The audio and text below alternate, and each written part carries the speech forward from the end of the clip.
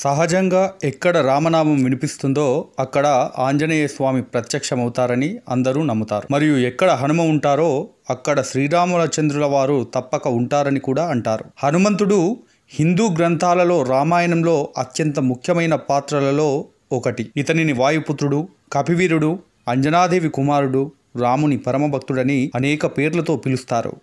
హనుమంతుణ్ణి శక్తిదేవత అని కూడా పిలుస్తారు. రామ రావణ యుద్ధ సమయంలో ఆయన పెద్దగా ఎదిగి భయంకర రూపంతో రాక్షస సంహారం చేశాడని చెబుతారు. అందువల్ల పెద్ద ఆకారంలో హనుమంతుని విగ్రహాలు నిర్మించడం జరుగుతుంది. దేశంలో ఎన్నో ప్రసిద్ధిగాంచిన ఆంజనేయ విగ్రహాలు ఆలయాలు ఉన్నాయి. అందులో విజయవాడలోని వెలిసిన అతి ఎత్తైన వీర అభయాంజనేయ విగ్రహం కూడా ఒకటి. భారీ రూపం అత్యంత ఎత్తైన విగ్రహం. నూట ముప్పై ఐదు అడుగుల ఎత్తు ప్రపంచంలోనే ఎత్తైన విగ్రహం ఇదేనని చెబుతారు. ఇక్కడి విగ్రహం బరువు రెండు వేల ఐదు వందల టన్నులు. నిర్మాణ కాలం ఇరవై ఐదు నెలలు. ఈ విగ్రహం పాదమే ఆరడుగుల ఎత్తులో ఉంటుంది.